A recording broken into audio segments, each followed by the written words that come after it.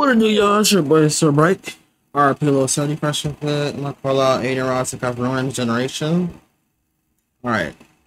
Whether gonna talk about them doing gay shit. If it's not that, then I don't know. I think if you maybe? on YouTube, more than likely, you probably wouldn't have found God. You wouldn't have converted to Islam. You'd be a degenerate like Adin Ross and Kai all these other fucking retards. You'd be doing dumbass. Damn. Damn. Like that? Like that? You just. You know what I'm saying? I've been doing shit on my hands, but I need. I got a camera. I gotta start using my camera. Get more subs. We're gonna get. We're gonna use the camera. and uh, clip farming and stuff like that. And I think uh, Said clip farming. You go on clip farm, let's be honest.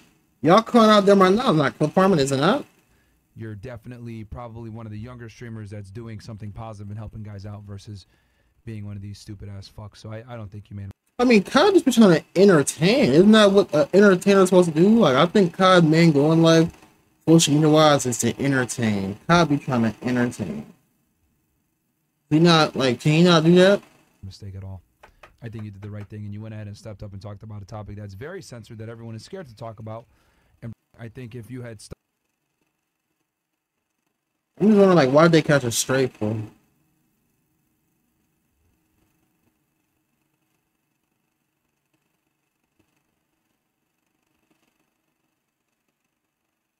Right?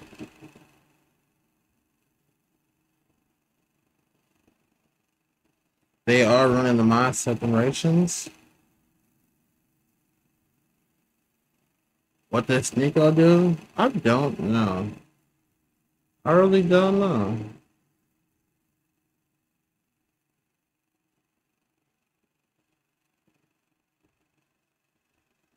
Like, what does Kyle really do that really like mess up the community? Like, he would just be entertaining, gaming, or he's outside doing something. You know I'm saying? Like, you really have rod minds.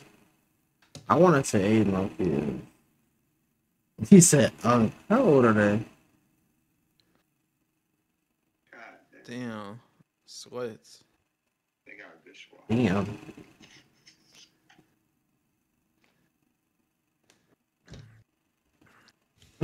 he called them out of all people though.